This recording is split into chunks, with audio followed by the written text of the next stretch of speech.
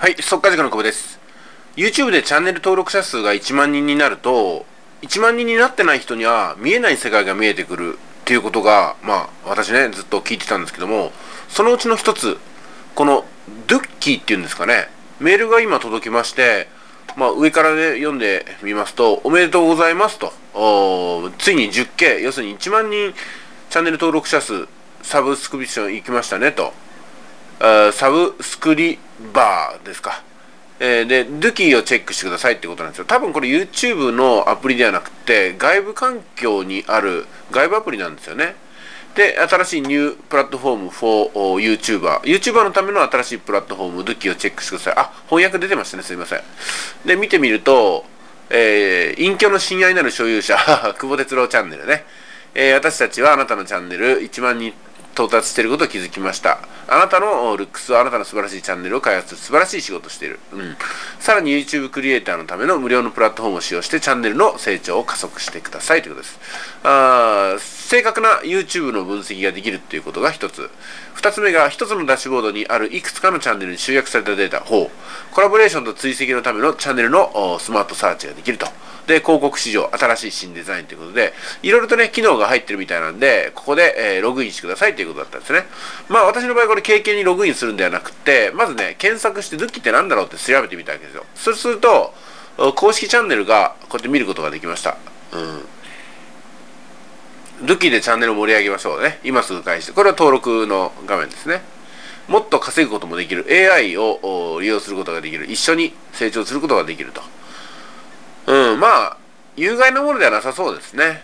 ああ、こういうデータも見れるんだ。あーということで、悪いことはなさそうですね。で、連絡先が書いてます。連絡先をクリックしてみると、うん、連絡先ね、どうも、得体が知れない連絡先ですね。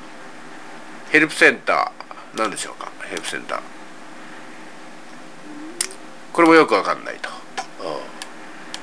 えーと、株式会社、全著作所有、うん、なんでしょうね。2020年。始まったばっかりなんですかね。えーとクッキーポリシー見てみましょうか。ああクッキーの使用ね。まあいろいろ出てると、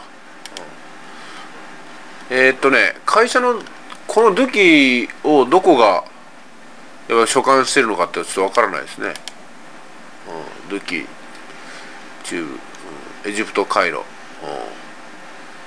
特に日本語のサイトはなさそうです、うん、まあこれからね調べながらやるかどうか決めていこうかなと思います。多分やると思いますけどもね何でもやってみないと分かんないですから。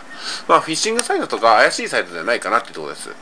まあチャンネル登録1万人いかないとなかなかね分からないんであれですけどもちょっと YouTube の方で検索してみましょうかね。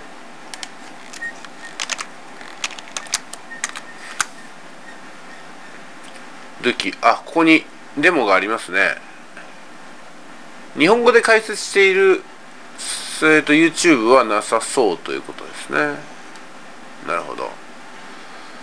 まあドゥキについて解説する日本語のサイトがあったら1万人達した人にはこの通知が届く可能性が高いんで動画を置いといたらアクセスが集まりそうだなというところですね、うんまあ作っときましょうか今のうちにじゃあまあ今回はそういうメールが届いたってことの動画に留めようと思います。まあチャンネル登録が1万人で壁を越えるとね、あのやっぱり今まで見えてなかったものとか、あー感じられなかったツールとかがね、えーどんどん感じれるようになってくるんだろうなと、オファーも届くようになると思いますしね。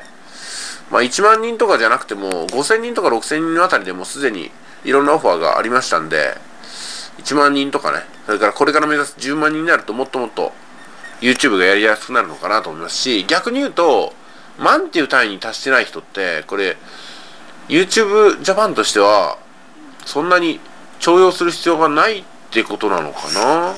どうなんでしょうかね？